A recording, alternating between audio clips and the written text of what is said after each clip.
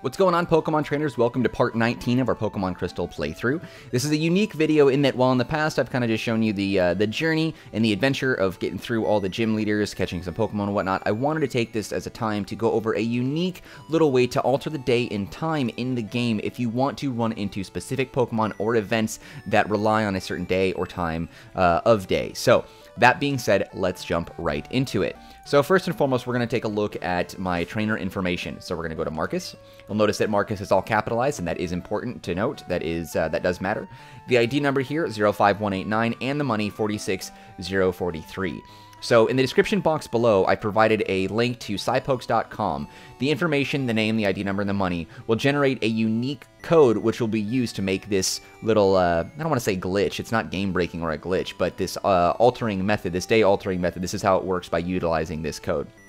So we got my name, we got my ID number, we got the money that you see here, and then now I'm gonna just gonna reset my game, and we're gonna go back to the title screen where you see Suicune running just under the Pokemon Crystal uh, intro screen logo here. Okay, now I'm going to hit a variety of buttons which are going to bring up a unique screen where this code will be entered. So using the psypokes.com URL, the link that's down there in the description box, and typed in my ID number, the way I spell my name in all caps, and the amount of money that I have on my character in game, uh, we're going to hit these buttons right here. So we're going to hold down, select, and B. I'm going to release down and B while still holding select, and then we're going to hit left and up and select all at the same time, and I'm going to release select and then you have this little white screen right here. We're to go ahead and say yes to resetting the clock. The password 01178. 1, 1, 1, 2, 3, 4, 5, 6, 7, 1, 2, 3, 4, 5, 6, 7, 8. 01178. That is my password. Password OK. There we go. And then it's to go ahead and bring us right back to the area where we can uh, kind of just start the game like normal. Okay, all right, we're going to say continue. No time set. You'll notice the time there has a bunch of question marks, just once again confirming that this worked. I'm just going to move this out of the way so you can see it still, but not interfering with the actual game. The clock's time may be wrong. Please reset the time. Okay, so as of right now, Saturday at 4.53, that's the time it is right now for me while I'm recording this video, but I want to catch a Lapras, so we're going to go ahead and drop it back to a Friday, and we're going to say yes. And then once this is done, I'm going to do it in between videos, because I'm not going to make another one about the same thing. I'm going to uh, catch a Scyther, trade it out, get a metal coat, send it back over, and that's going to give me a Scizor. But let's go ahead and use Pidgeot, and we're going to fly to Azalea Town, and then we're going to go east of Azalea Town into Union Cave, and we're going to follow the steps to catch a Lapras, which is the whole point of this little video. Okay? Alright, so we're just going to roll on through. There might be a trainer or two in the way uh, while getting back here. Nope, we're good. I think that girl's okay. Alright, so we're going to go to Union Cave. Alright, now I don't actually remember how to catch Lapras or where to catch Lapras in this area, so this is going to be kind of one of those things that we just, uh, we work on together. Let's take a look. We're just going to do some, do some looking around. Nope. Wait, that actually might be right. Oh, crap. I forgot. I got to use a repel and uh, get through that as well. But this handy trick will allow you to run into a variety of trainers. It'll allow you to run into a variety of Pokemon at any given time. Um, and like I said, the bug catching event also is really important. That's where I'm going to catch my Scizor in a bit. Uh, I'm sorry, my Scyther, and then we're going to trade that out for a Scizor. Let's go ahead and go to my pack, always using repels. Just want to make sure that we don't run into any other Pokemon along the way. Now, the good news is, is that if... Uh, yeah, okay, we still got the repel. Okay, got it. Uh, the good news is that if we run into a Lapras and we accidentally knock it out, that's okay, because a Lapras will show up every Friday. So if we do that, it's no big deal. What does this guy want? I'm not even going to talk to him. Eh, let's talk to him. It might be a battle.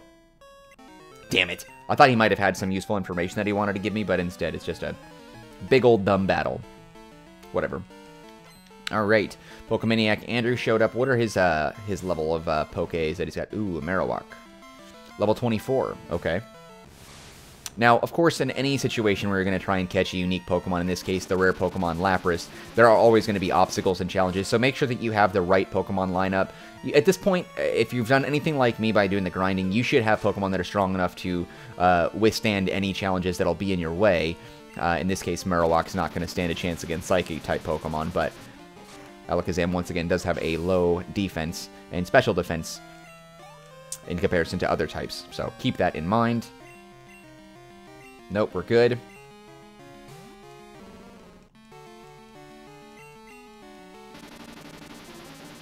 As soon as we beat Marowak, we continue on our journey and cross this water area. He'll live through that. No. Okay, taking him down. Nice, nice.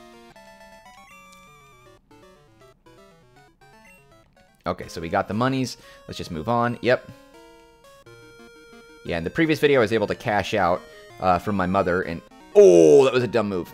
And uh, I, so I got all my money back. I left her actually with $1 just because, you know, that's the type of kind person that I am. And made sure I didn't save anymore. So no more sending money back to mom, since she always spends it on crap that I don't need.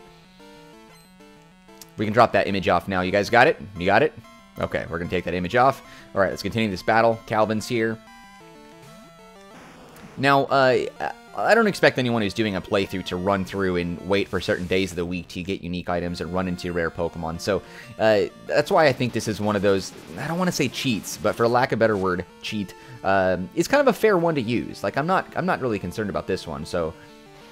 Ooh, Mega Punch is going to do some mega damage. Oh, eh, not that bad. Okay, we're good.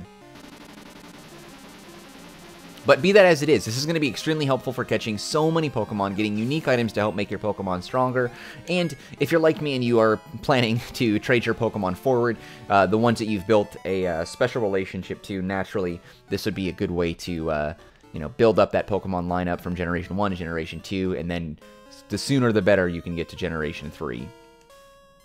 Alright, let's see what we got here. Actually, don't even remember where Lapras is. There's a trainer there.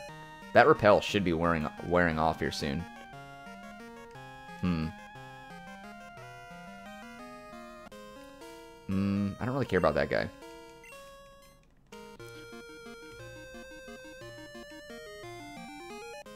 I bet there's an item hiding over here. No, there's not. I expected that there would be. Nope, nothing. Okay. Let's just keep on looking around. Hmm. Let's see. What do we got over here? Here we go. Damn, I didn't expect that there'd be so many trainers in here. Crap. Oh, this girl. She caught me by surprise. But I guess there's not really a way to avoid it, is there? Because uh, they only have one way to walk, right? So, like I said, not without challenges. Lapras should be here any moment.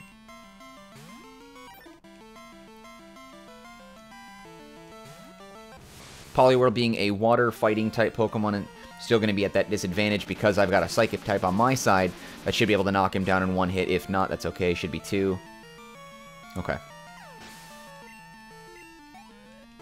It's always funny to me to consider that there are a ton of trainers out here just randomly walking around in caves that are far more powerful than a variety of the gym leaders that we run into. Yeah, we're definitely going to want to do that again. In the Pokemon manga in the anime, they use uh, like gym leaders use Pokemon that are tailored to your level specifically. So I would like it if that's kind of how it was. That way you can't really like grind like crazy like I do. There it is. All right, so got ourselves a Lapras. We're to go ahead and save it. Yes, saving the game. All right, what Pokemon do I have that can do some paralyzing type moves? Well, Lapras, let's go ahead and just interact with it, see what happens, and send it to the box. I don't really have the best uh, line of, it, of, uh, of moves to try and catch Pokemon. Hey, a female Lapras. Wait, is Lapras always female? Yeah, I don't know. Okay, I'm just to keep using Teleport so I can disable all of Lapras' moves. Oh, bitch, no! Why did I do that? So dumb. Why did I do that? Oh, I forgot he would flee from the battle. Oh, God. Okay, well, let's reset the game. That was so dumb. I'm an idiot. Why would I do that? What a moron. Such a buffoon. I was not using my brain there. Oh. Okay. That was really stupid. Oh, was not was not thinking. All right, so let's go ahead and use. I'm gonna use Growlithe intentionally with the disadvantage. Actually, you know what? No, let's use Feraligatr. That would probably be better because Feraligatr is the same level of Growlithe. Water against water, we won't do a ton of damage to Lapras. Oh, I can't believe I used teleport against Lapras. What a moron. That was so dumb. Oh, Lapras doesn't always appear as female. Okay. Well, that's disappointing. Oh, well. A male Lapras. Alright, um, let's use Cut. I don't know if this will be a one-hit KO. My Pokemon might be too strong. Good. Okay, sweet. So we can use a Cut a couple of times.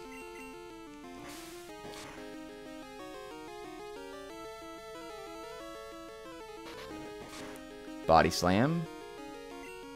Alright, and then we're going to switch to Pokemon Alakazam. Alakazam going to be using Disable. Hopefully we can disable that Body Slam attack.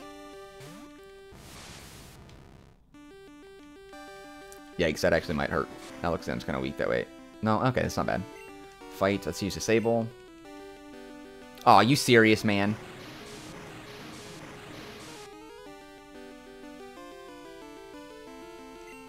Alright, let's go ahead and switch back to Feraligatr. I didn't expect that to be the case. I thought it was going to work the first time, and I, Alakazam doesn't have enough health to withstand that. We use Disable, we disable that move. He's going Alakazam, Lapras is going to do another attack. It's going to do some damage. I don't want Alakazam, Alakazam to be knocked out, so let's just not do that. Uh, I didn't get any Ultra Balls yet. I don't think we get those until the 7th gym island, or gym area. Can we catch it? Boom. Oh, really? You little bastard. Alright. Here I half expected that to work. Oh well. Paralyzing, no big deal. Pack. Great ball once again. Come on, catch that Lapras.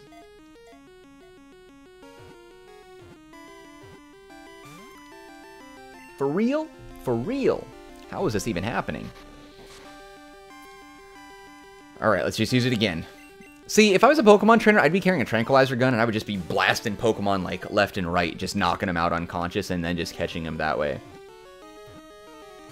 It always seems silly to me that we're fighting random Pokemon, and then when they get knocked out, then, like, oh, we missed our chance to catch them. It's like, they're unconscious. Their body should be right in front of you. You should be able just to pick them up and shove them in your backpack if you want, you know?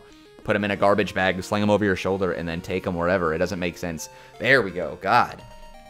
Doesn't make sense that, uh, that we have to get him just like 1 HP, you know? Of course, the entire Pokemon mechanic would need to be redone if you had to knock a Pokemon unconscious for that. Cool. All right. Now, Lapras, you can catch as many as you want. So, naturally, you're in that position where you can just catch, you know, female, male, whatever it is that you're after. But Anyway, I'm going to head back out of here, and I'm going to go catch myself a Scyther, so in the next video, hopefully, I should have myself a Scizor. But thank you guys for watching this video. If you found it helpful, I'll uh, provide some description uh, details down in the box below, such as like the uh, like the steps I took once again, just in case you're confused or if I didn't explain it very well. I want to make sure that you guys know exactly what it is uh, that I did, so I'll detail that out in the description box. But be sure to drop a like, comments if you have any questions or concerns or feedback for me. Be sure to subscribe because it helps the channel grow, always helps me out, and it uh, is a nice little motivator that uh, to make new videos and stuff like this. But uh, anyway, thank you for hanging out, guys. Much appreciated. I will see you next time when we continue our Pokemon Crystal playthrough. Do not run into a wild Pokemon. We're almost out. There we go. All right, take it easy, guys.